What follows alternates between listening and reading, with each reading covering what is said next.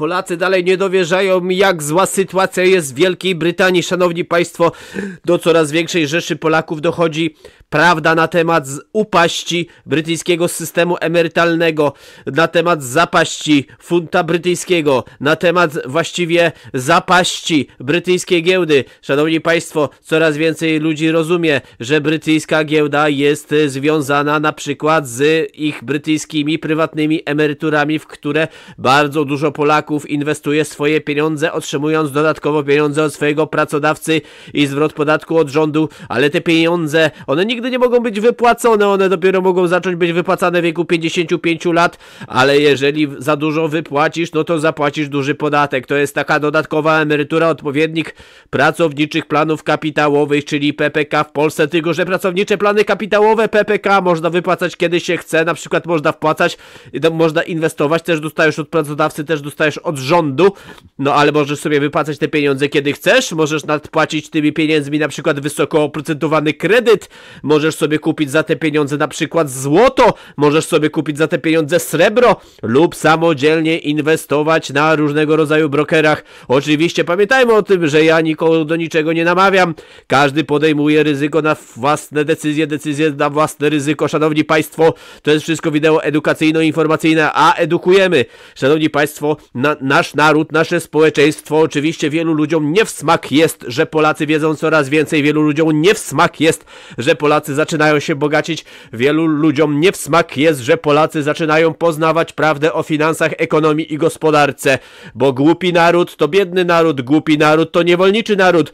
A Polacy nie chcą być niewolniczym narodem i głupim narodem, chcą być bogatym narodem, chcą być y, narodem prosperity, chcą zarabiać pieniądze, chcą pracować, chcą budować, chcą wytwarzać, chcą wymyślać chcą być narodem innowacyjnym i w znacznej części jesteśmy narodem innowacyjnym, no ale nie możemy się przebić jako naród innowacyjny z wielu e, powodów, dlatego, że na przykład w Polsce e, większość mediów, 60, a nawet 70% mediów w Polsce jest w rękach zagranicznych korporacji różnych państw niemieckich, nie niemieckich, anglosaskich i innych, szanowni państwo, a co to oznacza? Ano to oznacza, że dzieci SS-manów piszą y, i mówią polskim dziennikarzom, szanowni szanowni państwo, y, jak tam pracować i co robić, tak? Więc, szanowni państwo, mamy w Polsce narrację medialnych, zagranicznych korporacji, taka jest Polsce rzeczywistość, więc Polacy zawsze będą otumanieni dopóty dopóki w Polsce Polacy nie będą sami mówić do siebie.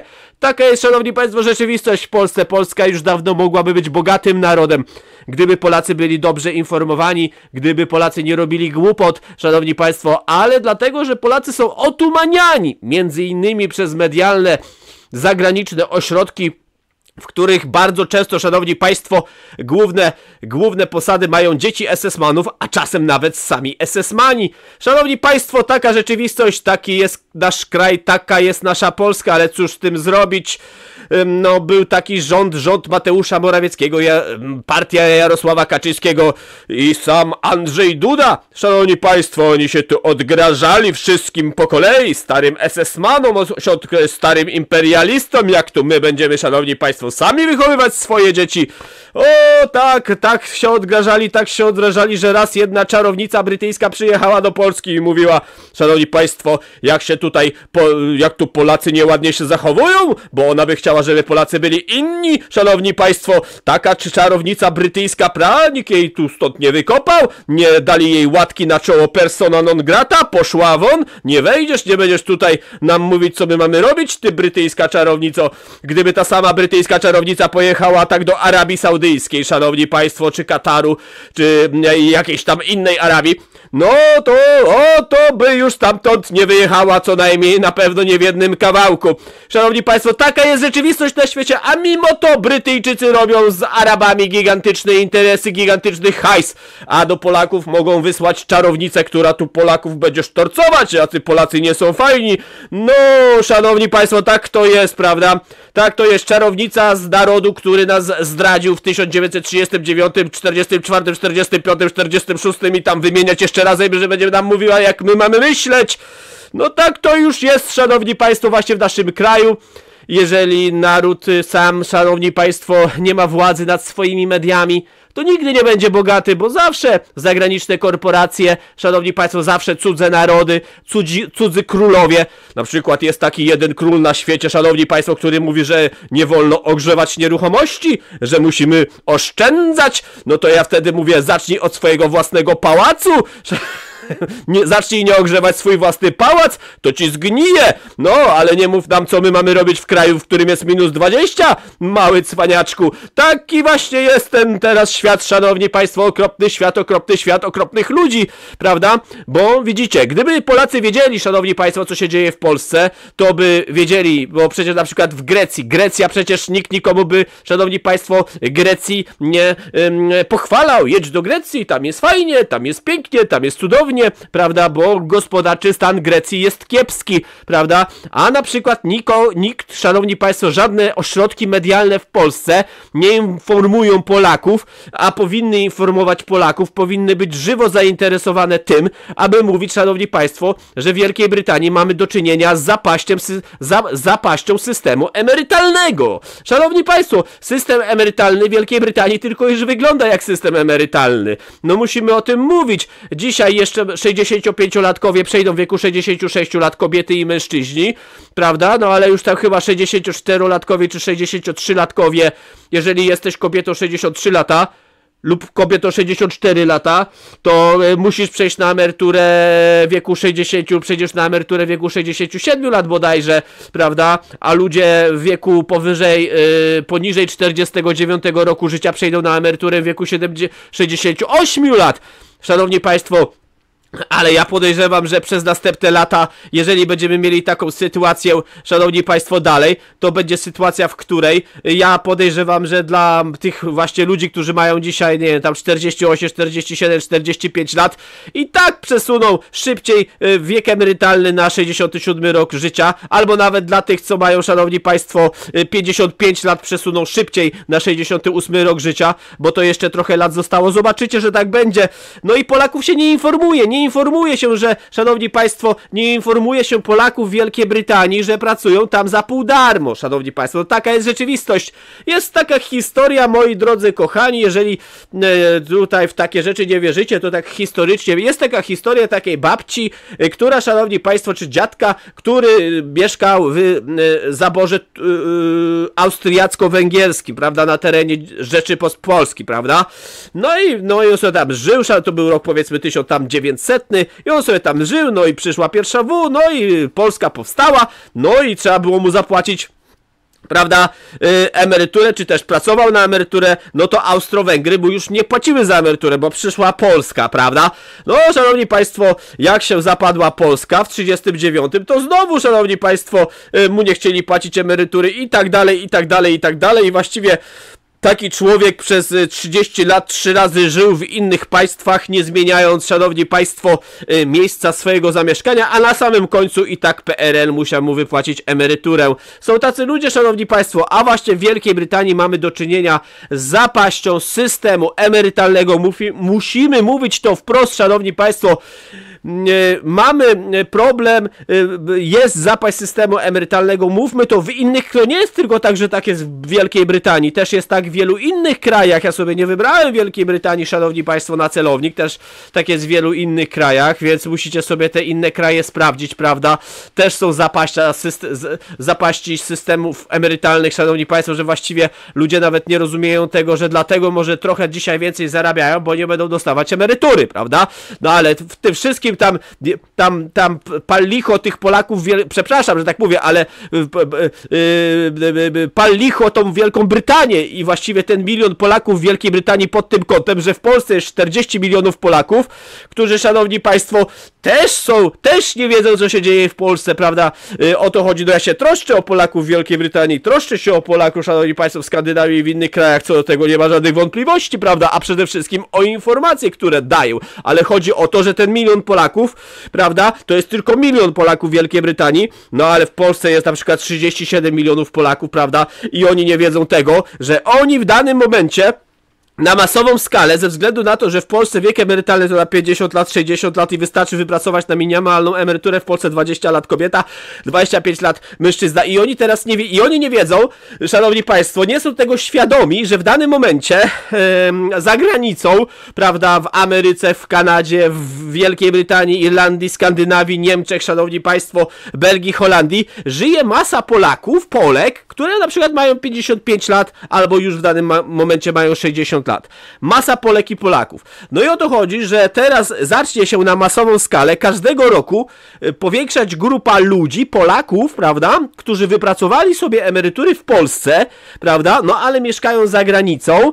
No i na przykład mieszkają w takiej Wielkiej Brytanii, Irlandii, czy tam nie, Norwegii, czy w jakimś innym kraju. W Polsce sobie wypracowały takie kobiety minimalne emeryturę i one w wieku 60 lat zaczną dostawać minimalne emerytury, na przykład albo trochę więcej niż minimalne, może większe niż minimalne, czyli będą dostawać jakieś tam powiedzmy 1700 zł, 1800, 1900, 2000 zł nawet na rękę, wiecie, tu z 500 euro to wcale nie jest tak mało, prawda? Niektóre będą dostać 600 euro, jeszcze inne 700 euro, jeszcze inne będą dziedziczyć po mężach na przykład, prawda? Będą dziedziczyć po mężach, bo wiecie, bo w Wielkiej Brytanii no tak jest wielki zapaść, w Polsce dziedziczy się emerytury, jeżeli kobieta ma męża albo mąż ma yy, żonę, prawda? No i wtedy oni dziedziczą te emerytury, prawda? I jak to wygląda? Jeżeli mąż na przykład ma emeryturę 50 lat i ten mąż ma emeryturę 50 lat, to sobie wyobraźmy, przepraszam, jeżeli ma emeryturę 5000 zł na rękę, ten mąż, prawda? I ten mąż niestety rozstanie się z tym światem, światem no to szanowni państwo, taka kobieta w Polsce dostaje jego emeryturę do końca życia. Tego nie ma za granicą, bo w Wielkiej Brytanii emerytura jest taka sama dla wszystkich. Tam się nie dziedziczy z tego co wiemy emerytur. W wielu krajach się nie dziedziczy emerytur, w anglosaskich i tak dalej, no a w Polsce generalnie emerytury się dziedziczy, więc nie dość, że mamy system zapaści emerytury brytyjskiej Wielkiej Brytanii pod tym kątem, że wiek emerytalny to już dzisiaj dla właściwie wszystkich emerytów, tam tylko jeszcze garstka została, że mają 66 lat, ale większość, no 95% przejdzie w wieku 67 lat, a zaraz będzie 68 lat, ale pewnie te 68 szybciej wprowadzą za 5 czy za 10 lat. Już dzisiaj usuwają, szanowni państwo, w Wielkiej Brytanii e, dopłatę do, e, e, do, do gazu, czy tam do elektryczności, żeby sobie ogrzać dom w zimę ale to nie jest, szanowni państwo, w ogóle film o Wielkiej Brytanii, tylko o systemie emerytalnym Wielkiej Brytanii, ale też i za granicą, tylko Wielka Brytania jest bardzo dobrym, jaskrawym punktem, dlatego, że w Wielkiej Brytanii, szanowni państwo, mieszka milion Polaków, a dwa miliony Polaków było w Wielkiej Brytanii, prawda? Czy trzy miliony może i ktoś tam sobie wypracował tę emeryturę w tej Wielkiej Brytanii. Chodzi o to, że dzisiaj, szanowni państwo, y, naród, y, Polacy mieszkający w Polsce na masową skalę zaczną wypłacać zaraz emerytury e, ludziom mieszkającym za granicą. Na masową skalę. Na masową skalę. Dlaczego? Polka pracująca w Wielkiej Brytanii, w Irlandii, szanowni państwo, Polka pracująca, szanowni państwo, w Niemczech, czy tam w Skandynawii, gdzie wiek emerytalny dla niej to jest dzisiaj na przykład 67 rok życia, mimo tego, że tam e, wiek emerytalny to 67 rok życia, to w Polsce wiek emerytalny to 60 rok życia. I co to oznacza? Że ona żyjąc tam, mieszkając tam i będąc zmuszona do pracy do 67 roku życia do emerytury tam, ona już będzie emeryturę otrzymywała stąd, prawda? Więc będzie otrzymywała emeryturę z Polski, mimo tego, że tam nie będzie otrzymywała emerytury, bo jeszcze musi harować do 67 y, roku życia, a potem będzie 68, prawda? No i chodzi o to, szanowni państwo, że w ten sposób w ten sposób, szanowni państwo, już, już niedługo ta grupka się tak zacznie nam powiększać, że na masową skalę miliardy, dziesiątki miliardów złotych będzie szło za granicę tej polskiej złotówki. Będziemy musieli wypłacać tym ludziom emerytury, bo y, oni po prostu pracowali tutaj, a wiek emerytalny to 60 lat dla kobiet, dla mężczyzn jest akurat 65, prawda, więc aż nie jest taki niski, prawda, ale wielu ma 55 lat. Chodzi o to, szanowni państwo, że Polska na masową skalę Polska na masową skalę, szanowni państwo, będzie dofinansowywać, będzie dofinansowywać y, pracownika w Niemczech y, swoimi emeryturami z Polski, w Belgii, w Holandii, w Irlandii, Wielkiej Brytanii, w Skandynawii i wielu innych krajach, prawda? W, w Austrii, wszędzie. Prawda? Tylko, że właśnie Wielka Brytania jest tak gigantycznie jaskrawym przykładem. Brytyjczycy też by mieli taki problem, tylko, że oni ten problem bardzo fajnie rozwiązali, szanowni państwo. Brytyjczycy ten problem rozwiązali tak, że wyszli z Unii Europejskiej i już Brytyjczycy nie będą wyjeżdżać na emeryturę do Unii Europejskiej, bo brytyjski emeryt żeby móc mieszkać sobie na przykład w Hiszpanii, czy żeby móc sobie mieszkać, szanowni państwo, gdzieś tam w Portugalii czy we Włoszech, musi mieć bardzo wysoką emeryturę, a większość z nich ma niskie emerytury, więc prawnie nie mogą tam mieszkać. Rozumiemy to? Więc Brytyjczycy tak sobie załatwili, że nie będę, że, że wiecie, bo na, Brytyjczycy na masową skalę wyjeżdżają do Hiszpanii, Portugalii, Włoch, prawda, na emeryturę, tylko że mogli, bo byli w Unii Europejskiej, teraz nie mogą, więc mają problem, ale to jest szczęście w nieszczęściu, prawda, bo by wyjeżdżali i by wydawali te pieniądze tam, prawda, no i dodatkowo by się tam leczyli na tych niebieskich kartach, prawda, za y, niższe stawki, prawda, ale oni wyszli wyszli, wyszli z Unii Europejskiej i, i tego nie, ma, nie mają, prawda? Z jednej strony jest to dla nich źle, z dru drugiej strony jest to dla nich dobrze, prawda? Co więcej, resztę krajów, na przykład wielu Brytyjczykom lub ludziom, którzy, którzy, którzy mieszkali w Wielkiej Brytanii, no Brytyjczycy normalnie z dziada, pradziada, tacy wiecie, ale na przykład wyjechali do Australii, na przykład mają dzisiaj 68 lat, ale na przykład, wiecie, no 30 lat temu wyjechali do Australii, prawda? 30 lat temu wyjechali do Australii, gdy mieli 38 lat. Wypracowali na przykład od 18 roku życia, pracowali w Wielkiej Brytanii 18 lat, ale dlatego, że nie mieszkają tutaj, to im się ta emerytura nie będzie indeksować, więc dostaną tam, wiecie, kilkadziesiąt funtów. Jest historia takiego Brytyjczyka, który mieszka w Kanadzie i on akurat ma dużo lat i on mieszka w tej Kanadzie i on tam bardzo dużo lat pracował w Wielkiej Brytanii, chyba nawet w wojnach tam uczestniczył, prawda, za Wielką Brytanią i proszę sobie wyobrazić, że przez brak indeksacji tej emerytury emerytury, on dostaje tam, nie wiem, 50 funtów miesięcznie, czy tam tygodniowo, coś takiego, wiecie. Przecież za to się nie da wyżyć. I o to chodzi, że właśnie Polacy nie wiedzą, szanowni państwo, jak zgniłym systemem jest system brytyjski emerytalny, a system brytyjski emerytalny jest tak zgniły, prawda, że przecież Unia, przecież Unia Europejska może się rozpaść, prawda? Y, Brytyjczycy bardzo by chcieli, żeby Unia Europejska się rozpadła, bo Brytyjczycy zawsze grali, y, szanowni państwo, w Europie na rozpad państw, na, na, na zmylanie ich. Przecież nawet Nigel Farage jeździł po Europie, żeby zniszczyć Unię Europejską, żeby Unia Europejska się rozpadła. Jak Unia Europejska i Rosja też chce zniszczyć Unię Europejską, prawda? Więc mamy tutaj Wielką Brytanię, która połowa tych mieszkańców z Wielkiej Brytanii bardzo chętnie by widziała, szanowni państwo, Unię Europejską rozpadniętą. Taka jest rzeczywistość przecież. Oni by chcieli mieć rozpadniętą Unię Europejską. No niestety tak, szanowni państwo, jest. Czy, czy do tego dojdzie, czy nie? Ja tego nie wiem. Państwo tego nie wiedzą. My tego po prostu, szanowni państwo, nie wiemy, ale wiemy jedno.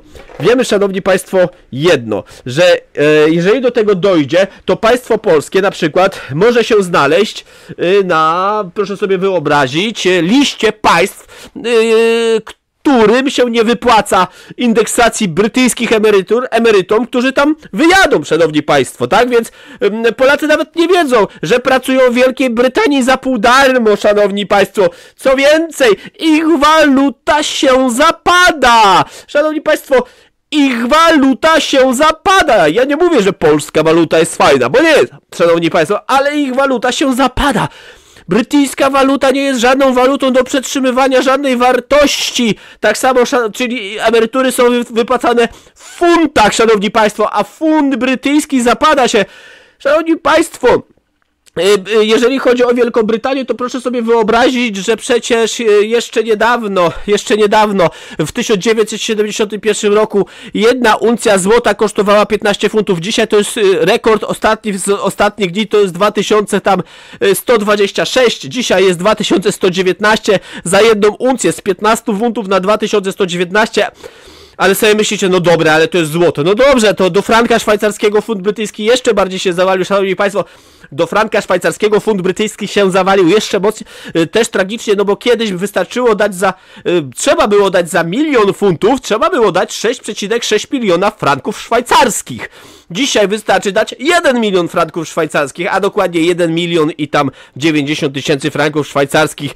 Ale to nie jest jedyna waluta, która zawala się tak do franka szwajcarskiego, bo do takiej waluty jak frank szwajcarski zapada się także dolar amerykański. Szanowni Państwo, i do dolara amerykańskiego e, frank szwajcarski tak się umocnił, że kiedyś kosztował 4,5 bodajże franka szwajcarskiego za jednego dolara, a dzisiaj e, dajesz tylko 0,8 franka. Tak, 0,8 franka, 80 centynów, czy tam czegoś, prawda? E, czyli, czyli do 1 dolar kosztuje mniej niż franka, a kiedyś kosztował 4,5 franka. 4,5 franków? 0,8 franka dzisiaj, szanowni państwo. Tak to wygląda i Polacy tego nie wiedzą. Po drugiej stronie, prawda, jeżeli Polacy się skumają, prawda, jaki mamy system emerytalny, to będzie dla Polski dobrze, prawda, bo Polska ma jeszcze gigantyczne e, pokłady tego, aby ten system emerytalny zmieniać, ale Brytyjczycy nie mają już pokładów, żeby zmieniać system emerytalny Wielkiej Brytanii. W rzeczywistości system emerytalny Wielkiej Brytanii jest, szanowni państwo, systemem e, skrajnie upadłym. No zrozummy to, no 68 rok życia. Do kobiety dzisiaj w Polsce przechodzą w wieku 60 lat, prawda? Mówicie, no dobra, ale w Polsce minimalna emerytura e, to jest 450 euro. No tak, to jest 450 euro, ale po 20 latach pracy, tak? W Wielkiej Brytanii to jest w wieku 68 lat, ale po 35 latach pracy, tak? Więc wiesz, jak sobie wypracujesz 35 lat w Polsce, no to i dostajesz w wieku 60 lat, to właściwie te emerytury w Polsce można powiedzieć dla kobiet akurat, akurat dla kobiet, prawda, jest to bardzo niesprawiedliwe wobec mężczyzn, dla kobiet akurat są wyższe, szanowni państwo, bo będziesz się e, dostawać, będziesz się dostawać już 8 lat szybciej, 7 lat szybciej niż brytyjska emerytura. Tak, w Wielkiej Brytanii, szanowni państwo, działalność gospodarczą prowadzi się 20 razy łatwiej. Tak, szanowni państwo, w Wielkiej Brytanii Wiele rzeczy jest łatwiejszych. Rzeczywiście te emerytury dalej są 2,7 razy wyższe, prawie 3 razy wyższe niż w Polsce. Tak, ale kobieta dostaje je 8, 7 lat później już teraz. Teraz 6,5, zaraz będzie 7 za rok, za 2, 67 rok życia, a, za, a, a wszyscy, którzy mają mniej niż tam 49 czy tam 48 lat, to będzie 68 rok życia, prawda? No ale pewnie podejrzewam, że i tak przesuną ten 68 rok i wszyscy będą szybciej przychodzili w wieku 68 lat. Jak znam życie, to tak będzie, prawda?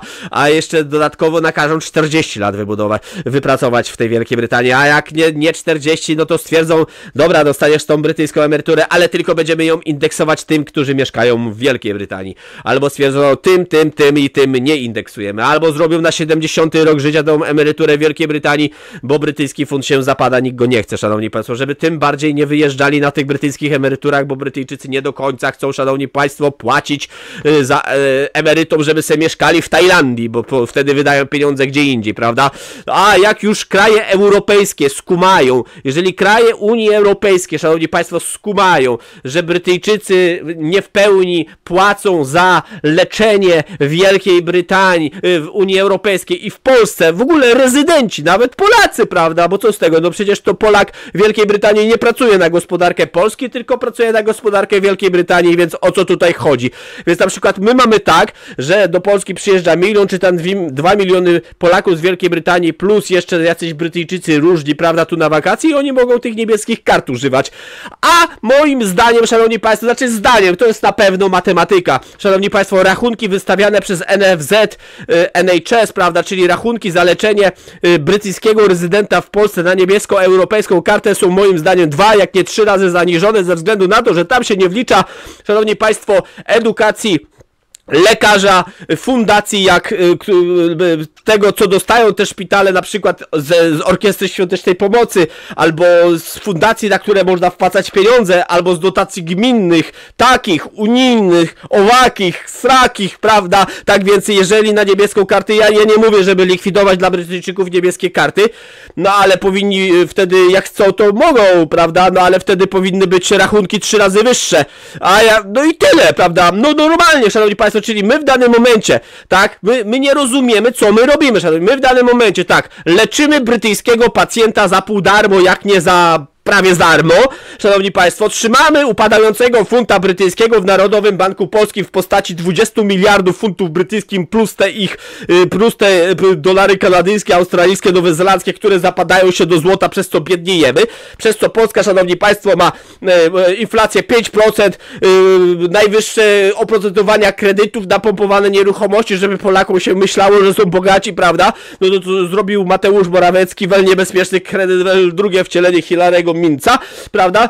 I na samym koniec jeszcze no, wypłacamy w danym momencie na masową skalę i będziemy wypłacać na jeszcze większą masową skalę, ale to nie chodzi o Brytyjczyków, tylko chodzi ogólnie o Polaków i o polską gospodarkę, na czym tracimy.